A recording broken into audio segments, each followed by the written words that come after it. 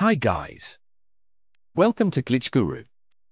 If you suspect that your Samsung Galaxy phone is infected by virus or some kind of malware, this video will show you how to get rid of it.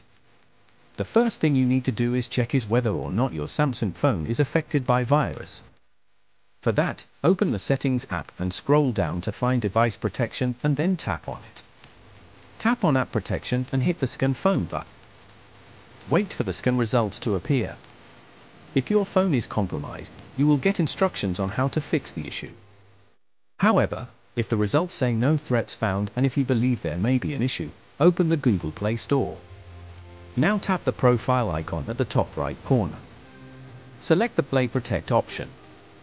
Tap the scan button and wait for the results to appear. If there are any harmful apps installed on your Samsung phone, Play Protect will ask you to uninstall them.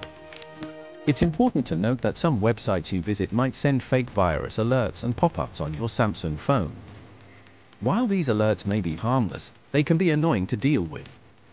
To disable them, open your browser, tap the menu icon at the top right corner, and select Settings. Scroll down to tap on Site Settings.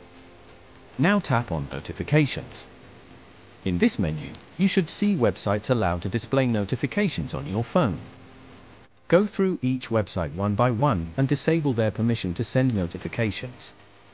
That should do it. Applying these tips should help you remove virus or malware from your Samsung phone.